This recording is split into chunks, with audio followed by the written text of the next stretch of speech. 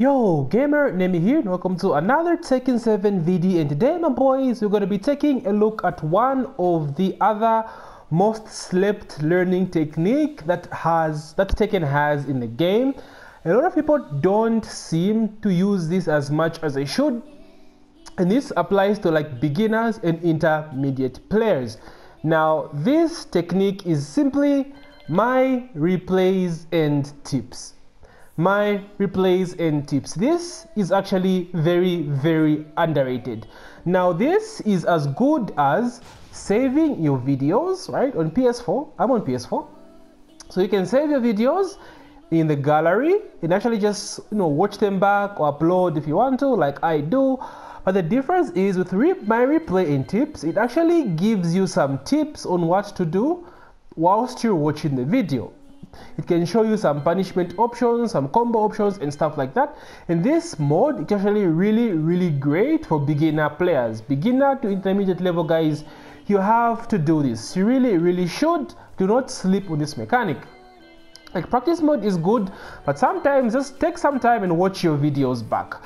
A lot of people don't like watching their replays, especially if they lose. And I'm guilty for doing this as well. I'm like, ah, shit, I just lost. You know, must have been a bad day you know, I'll get you the next time. No. You have to watch your replays, watch back your losses, and see what you could have done better and what you could do better going forward.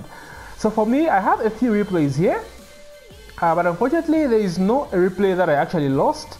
Most of them are like outdated now, you know, sadly. So I can't really show you guys any replay that I lost, but I'm going to show you this one specific replay um, where I was really, really bad in this game. So this is what I just picked up Leroy and I was trying to learn the character. There's a lot of things I missed that the game actually pointed out for me and I'm going to show you guys this. Now the game won't always point out what you did wrong. Sometimes it's up to you to just realize that you know I should have done better in this particular situation.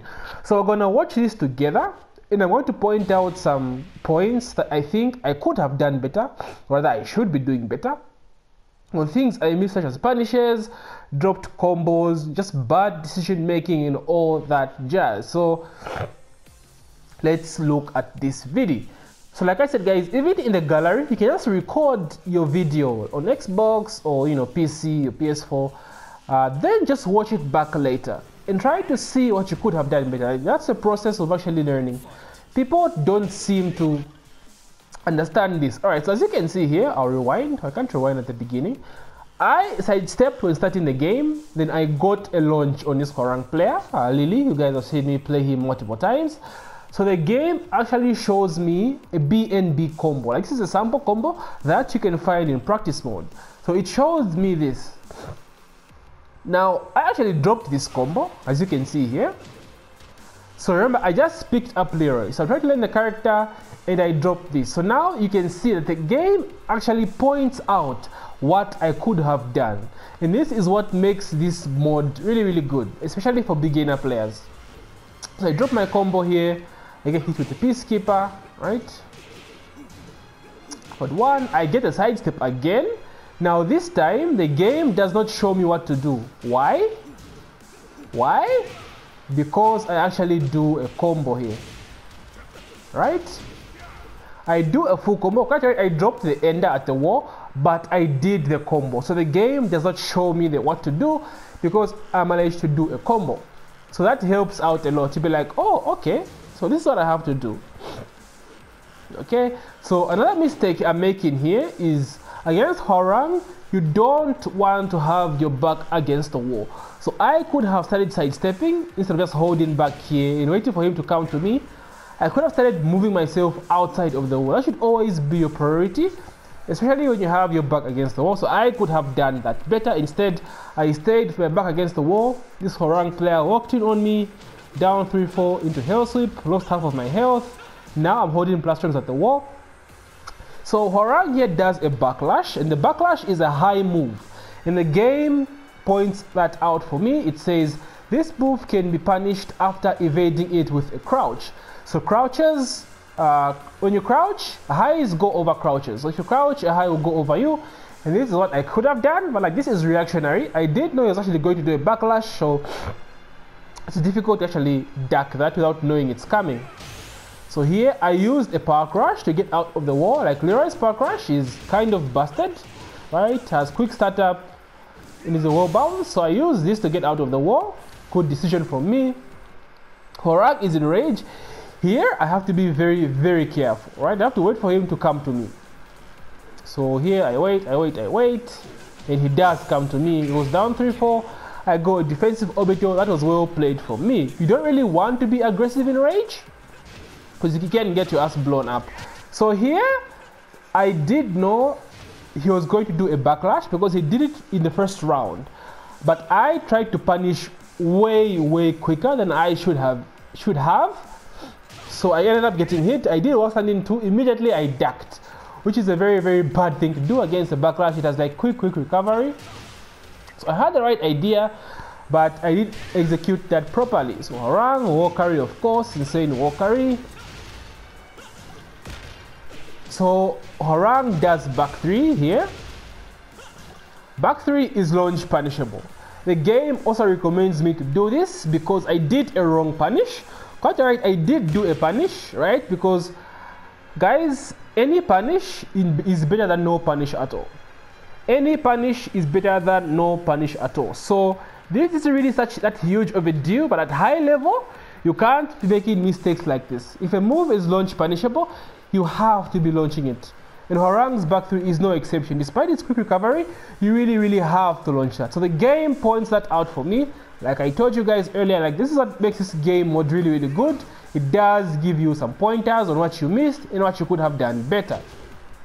So I pressure him with plus frames here, get a combo. Go for Oki, go for the stomp again. Leroy pressure, of course, insane. Grab him at the wall, boom. Forward forward plus two. Here I know he has to like go low and he has rage, so he's most likely going to go low. So I back off a bit. Now this tip is just on the jab. He does a high jab, right? Uh, uh, uh, which I could have ducked. So the game points that out for me. And here I panicked and did a parry, right? I thought he would keep on the pressure, but he backs off. Boom, gets a whiff punish on me. I eat the rage art, and that's GG, or he drops it. Anyway, I lost that game anyway, so I panicked there. I could have been more patient. Of course, he had rage. I had a life lead. So, you know, I panicked and lost the game. Okay. Down back 4 into 4 forward plus 2.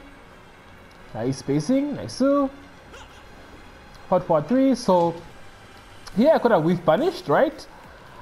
Right? I could have gotten forward forward 2 2. This is another mistake from my part. This is free damage. I can't be making mistakes like this. You can't be making mistakes like this. Damage is very, very important in this game. So I missed the opportunity to get a whiff punish on Hwoarang here. So I know that, you know, I learned from that. I don't have to make such mistakes like that again. Now dash up low. I got mixed here, of course, Hwoarang mix-ups. Mm, I go to the wall. Of course, I eat the damage. Hwoarang insane damage mix-ups. I go for a power crush again to get out of the wall. Very, very good against Hwoarang as well. Just rewind that. Mm. He does a power crush here and I missed this punish. The game recommends me what I should have done. Hwoarang's down forward 3-4 is minus 14 and Leroy is 1 plus 2, 1 plus 2, 1 is 14 frames. I could have done that punish but I missed it. I panicked, ended up doing some weird grab, you know, wasted damage. I lost a round because of that. So like I said guys, it's very important to make to watch your videos back. Trust me, you want to watch, especially the videos that you lost. You got you got blown up 7-0, you know, 10-0 in the first to 10. Watch that shit back. It's the only way to get better and improve from there. Don't get salty and delete the video. Just watch it and see what you can do better. It helps. It really, really does. Okay, spacing with punish. So this was me learning for the previous match when I missed the punish on 4-4-3, right? I could have gotten the 4-4-2, 4-4-2-2 with punish. So I learned from that and actually remembered, oh shit, Leo, Leroy is up forward 3 plus 4, 1 plus 2. It's 14 frames and it's very, very fast as well. So not 14 frames, it's a very, very good long range punisher. So I did that here. Boom, amazing with punishment here. Uh, jab is really good against Hwoarang as well. One jab, down forward one one. Of course, into shotgun, easy frame trap at the wall. I could have done a better combo here. Could have done back four, right, into a better combo. So wall carry adjustments, again, guys, is another thing you need to really need to practice, right? You need to know how to adjust your combos when there is a wall in front of you. You need to get those clean wall splats and maximize the damage. Just like I said before, losing damage in Tekken is not really, really a great thing. So practice uh, wall adjustments, combo wall adjustments. I missed my wall splat here. Leroy pressure, of course, went for a grab, jab pressure into dick jab, jab pressure. He panicked and I got the dab, got around here. Okay, we're going to the final round now. Okay, do Leroy, Leroy shenanigans. Nice, down forward on one, forward for three. I went for a parry there, which is not really, really a bad option, but he went low, so I guessed wrong, obviously. Forward forward one plus two, amazing mid, amazing check. I missed the whiff punish again here, right? Down forward two. I could have punished it with like jabs. Okay, the, the backlash, of course, Dakabo. Here he goes for hell sweep. So he goes for the low into mid. So I go for a defensive orbital and you know get the combo.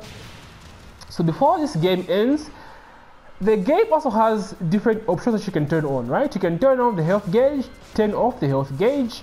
You can put command history, right, to see the mistakes you are making, and like inputs and stuff, right? uh, player attack information, the damage of combos. You can see that from here. Uh, just to show you guys. So this is going to take some time going back, but let me just rewind. Right. So now I have damage information on here. Right. You can see the damage numbers here.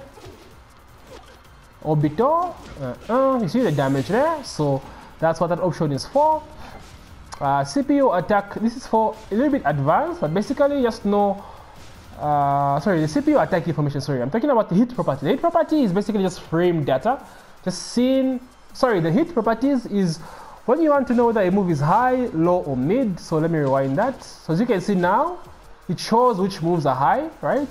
So high, mid, backlash is a high, it shows there, high, low, high.